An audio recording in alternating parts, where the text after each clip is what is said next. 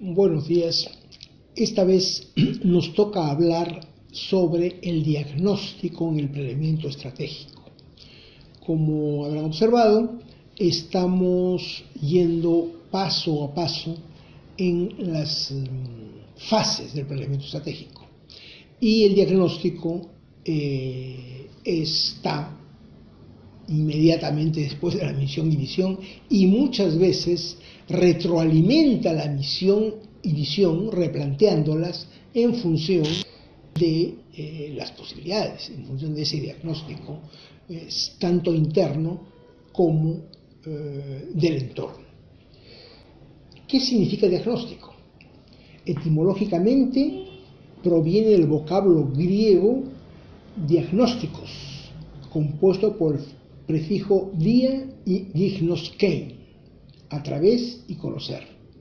Diagnosticar entonces es un medio a, través del cual se conoce algo.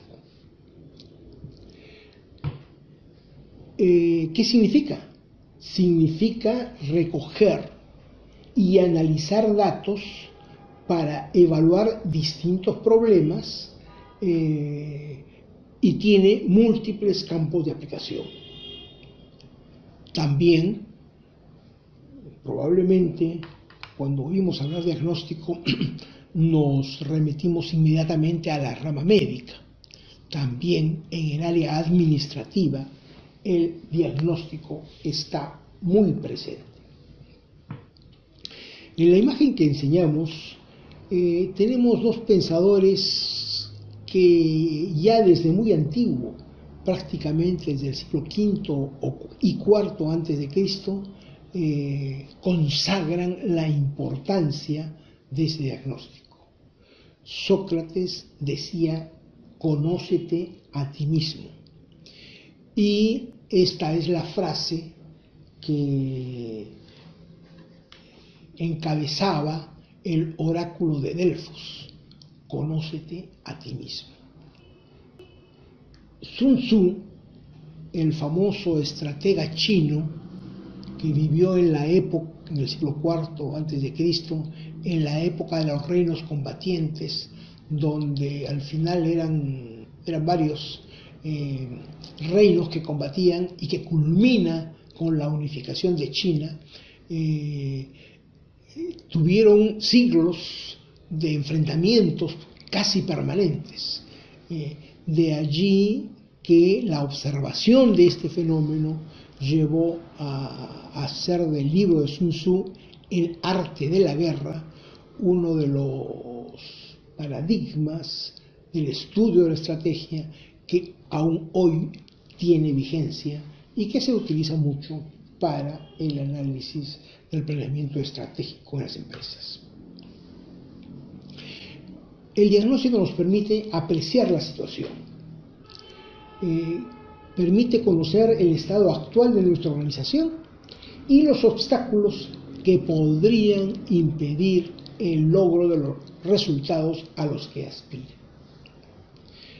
El diagnóstico es la mecánica, el, que nos permite recopilar información de las distintas unidades de nuestra organización, sea por medio de cuestionarios, de entrevistas, de observaciones, para su análisis y para obtener conclusiones. Nos explica el qué pasa. El diagnóstico incluye un análisis externo y un análisis interno implica analizar la información y los datos relativos también al medio cultural, a los procesos que vive nuestra sociedad, a la estructura y a otros elementos que influyen en nuestra institución. Los diagnósticos son múltiples, son herramientas que ayudan a acercarnos para observar mejor. Y quisiera subrayar dos referentes básicos. Cuando yo quiero analizar necesito, me ayuda enormemente tener algo con que comparar. Ese algo con que comparar puede ser eh, un ideal al que quiero llegar o puede ser el promedio de instituciones similares que han alcanzado. Entonces, no solamente observo, sino evalúo. Y para evaluar, comparo. Comparo, repito, o con un ideal que propongo o con la, el promedio, la media a la que en el aspecto que estoy analizando han conseguido organizaciones similares en el mercado en el que me desarrollo.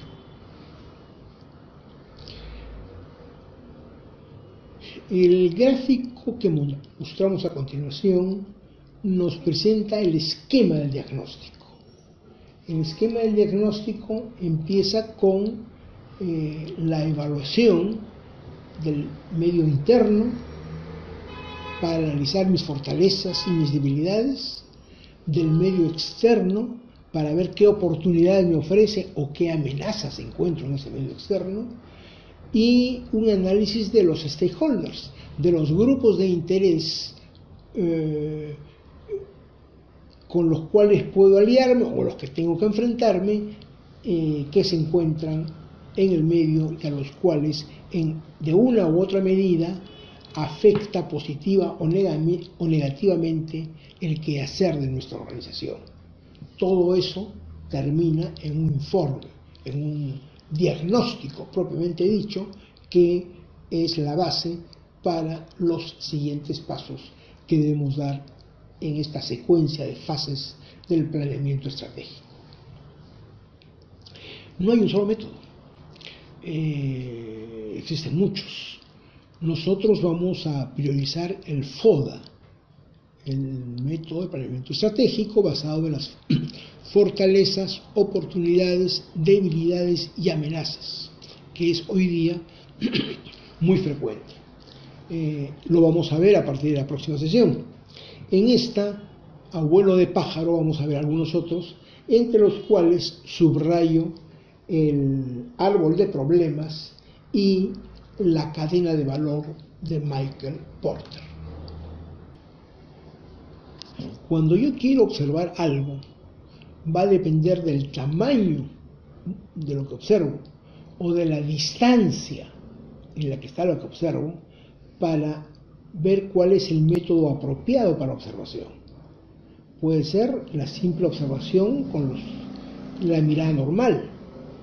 Puedo ayudarme con una lupa si se trata de agrandar dos, tres, cuatro, cinco veces el objeto observado puedo usar un microscopio que me puede incrementar muchísimas veces el tamaño porque la muestra que observo es muy pequeña.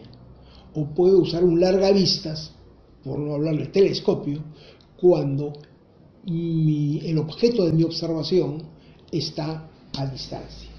Entonces, el método de análisis, la herramienta que utilizo para conocer la realidad, va a depender del objeto que esté estudiando.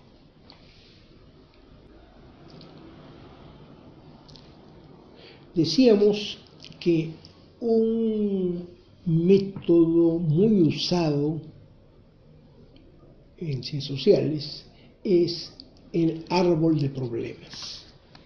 El árbol de problemas es una metodología fundamentalmente participativa donde parto del problema y trato de buscar en conjunto con todos los integrantes de mi asociación cuáles son las causas de ese problema y cuáles eh, serían las soluciones para el problema. Este partir del problema, una especie de tronco, de sus causas como raíces, concebidas como raíces, y de sus eh, eh, efectos y soluciones, sus efectos sobre todo, que sería un poco la frondosidad del árbol, me permite, me da una visión causal del problema, de los efectos que produce, este, de las causas que lo originan, que es un buen método de diagnóstico para de allí decidir qué pasos dar para superar eh, los problemas. Repito, es, es una herramienta participativa que busca el encadenamiento de las causas y los efectos y permite mejorar el diseño, ejecutar, eh, efectuar el monitoreo de los eh, supuestos del proyecto, evaluar si los problemas al final se han resuelto o no se resolvieron. Otro sistema de diagnóstico, sistema de análisis muy usado es el diagrama de espina de pescado, creado por Kaoro Ishikawa en 1943. Es una herramienta para identificar puntualmente las causas de un problema. En una organización, en una empresa, se agrupan los distintos espacios donde pueden surgir problemas, haciendo más fácil identificar las causas internas, las fortalezas o debilidades. En el modelo que presentamos en la diapositiva, estamos haciendo un análisis de la mano de obra, en la cual vemos que los trabajadores son especializados, son sindicalizados, pero no generan una buena producción y las causas por las que no la generan. Este descomponer el problema en sus distintos componentes este, ayuda a un mejor diagnóstico, a un mejor determinar las causas del problema detectado. Este modelo de espina de pescado se ve en la diapositiva a continuación en su forma más compleja, donde se han independizado los problemas referidos a la mano de obra, a la maquinaria, a los métodos utilizados, a los materiales empleados, y al agruparlos en estos conceptos nos permite eh, un mejor análisis focal de cada una de estas partes de la organización. Se ha, está hoy día muy actual el análisis de los grupos de interés o el análisis de stakeholders. Una organización tiene una serie de grupos humanos eh, afectados positiva o negativamente por su quehacer.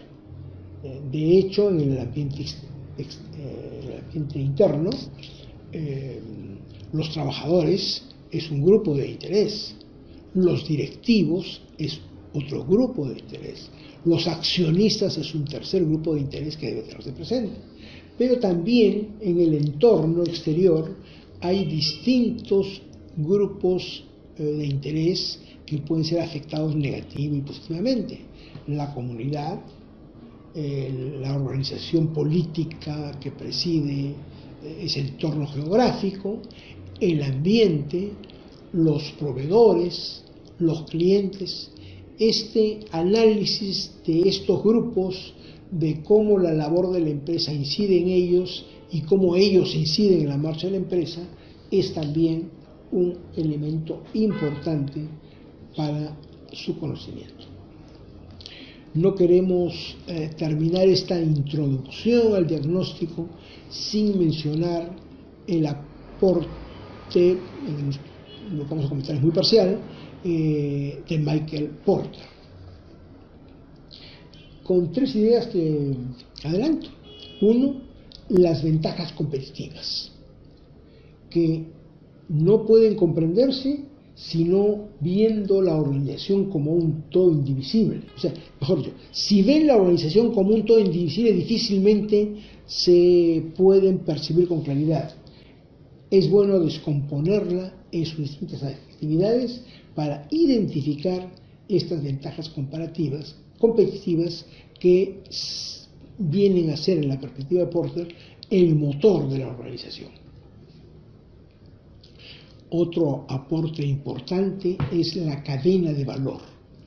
Eh, aquí también se descompone en partes el funcionamiento de la empresa y entonces identifica las actividades primarias, como pueden ser la logística, las operaciones, eh, el marketing y las ventas, de las actividades de apoyo, el abastecimiento, el desarrollo tecnológico, los recursos humanos, y todo esto confluye finalmente en los márgenes que dan sostenibilidad a la institución. Un último aporte de Porter que señalamos, porque lo vamos a usar mucho en el futuro, son la identificación de las cinco fuerzas que eh, se dan en el ambiente de las empresas y podemos hacer nosotros el traslado a cualquier tipo de organización. Eh, esta, una de las fuerzas es la competencia misma. Normalmente una organización no está sola en el mercado, tiene otras organizaciones que son más importantes o menos importantes y que ofrecen el mismo servicio. Eh, son la competencia y tengo que ver cómo interactúo con ellas. Están los proveedores, es también una fuerza del mercado importante. Están los clientes, ambos influyen directamente en el cómo desarrollo la empresa. Si tengo clientes fieles que, he fidelizado, que puedo proyectar mis ventas. Si tengo proveedores eh, constantes de calidad que me otorgan buenos precios, tengo una base segura para proyectarme. Variaciones en proveedores o variaciones en los clientes afectan a mi organización. Igualmente, si existen nuevos competidores, eh, la aparición de nuevos elementos eh, que, entran a competir, a veces con nueva tecnología, a veces mucho más grandes, pueden desestabilizar a una organización. Y finalmente, hay que tener presente la aparición de sustitutos. Si yo em, estoy en el negocio de los celulares, creo que todos hemos percibido la eh, constante innovación que hay en eh, en los mismos, del celular caja de zapatos que teníamos eh, a fines del siglo pasado, este, hasta los celulares muy pequeños que nos servían muy bien para hablar por teléfono, a los actuales en los cuales son casi computadoras que tenemos adicionadas a nosotros y que no solamente nos permiten hablar por teléfono, nos permiten tomar fotografías, constituyen nuestra agenda, constituyen nuestro directorio, nos permiten usarlos como grabadoras o como video y tienen muchísimas más aplicaciones eh, que eh, el celular al que estábamos acostumbrados. Si es que uno no está atento a la evolución de los sustitutos, puede rápidamente salir del mercado. Puede simplemente hacer inversiones no adecuadas y fortalecer un producto que ya es obsoleto. La obsolescencia eh, eh, el día de hoy es cada vez más acelerada y los sustitutos son un factor que señala muy bien Porter como uno de los elementos que debemos tener presente.